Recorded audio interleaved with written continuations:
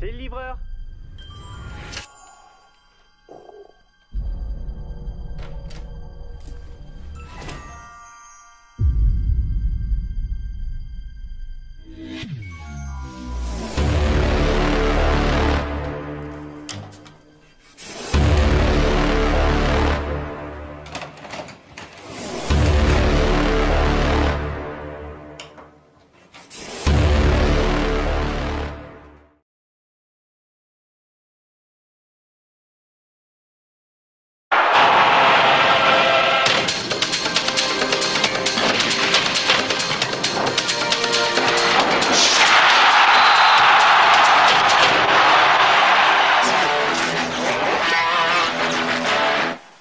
On a eu droit à tout dans ce match de Coupe de la Ligue, des buts, des cartons rouges et des tirs au but. Tout commence à la 37e minute, le TFC d'Alain Giresse, décidément intraitable ces dernières semaines, ouvre le score par son capitaine Thierry Moreau, avec une frappe qui ressemble étrangement aux frappes de Roberto Carlos. La deuxième période est folle dans tous les sens du terme. Pabio reçoit un deuxième carton jaune pour cette faute sur Frédéric Mérieux. Donc Monsieur Bray le transforme fort logiquement en carton rouge. Et voici les Toulousains réduits à 10 contre 11. Et ce pour toute la fin de la deuxième période. Mais à 10 contre 11, Toulouse trouve des ressources, des ressources nécessaires pour marquer un deuxième but et quasiment s'assurer la qualification sur le terrain de Metz. C'est encore son capitaine Thierry Moreau qui, dans un angle incroyable, place son coup franc dans le but. Lionel Letizy avait déjà anticipé un centre toulousain.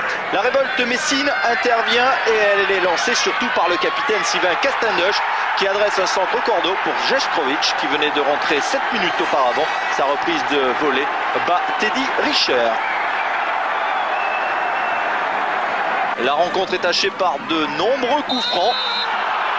Cela tombe dans des incidents, dans des altercations et dans d'autres cartons jaunes. Carton rouge pour Toy, carton rouge pour Gestrovic, pour un geste peu intelligent, ce coup de pied dans le tibia de Diata. Il est vrai que lors de la match de championnat entre Toulouse et Metz au stadium, les deux équipes avaient passé des moments difficiles sur la pelouse. Il y avait un contentieux, contentieux qui se confirme quelques minutes plus tard avec Kobos qui va également de son tacle dangereux. Il expulse Strasser de façon très irrégulière hors du terrain. Kobos est expulsé. On joue donc la rencontre à 9 contre 9.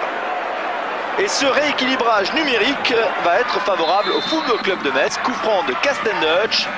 Ballon mal dégagé par la défense euh, toulousaine. Diata remet le ballon dans les pieds de Jeff Strasser. Le luxembourgeois bat Teddy Richer. C'est l'égalisation.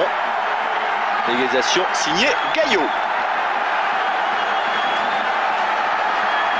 Diata qui manque complètement sa relance et Gaillot qui arrache l'égalisation à 3 minutes de la fin de la rencontre. La prolongation avec cette fois-ci Jeff Strasser, c'est encore un mauvais dégagement et il reprend le ballon de volée. Il le place dans le but de Teddy Richer, 3 buts à 2.